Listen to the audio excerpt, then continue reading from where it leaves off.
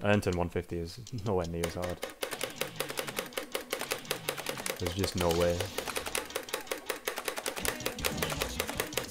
Apocalyptic Feast in 125 is a the lemon chart.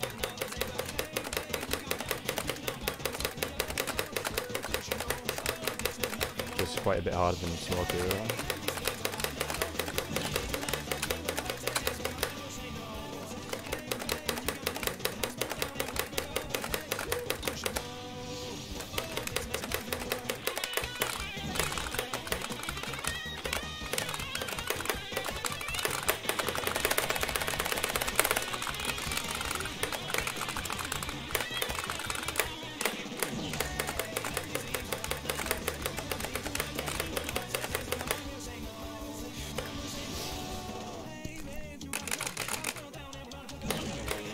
I've never played the remastered chart, so...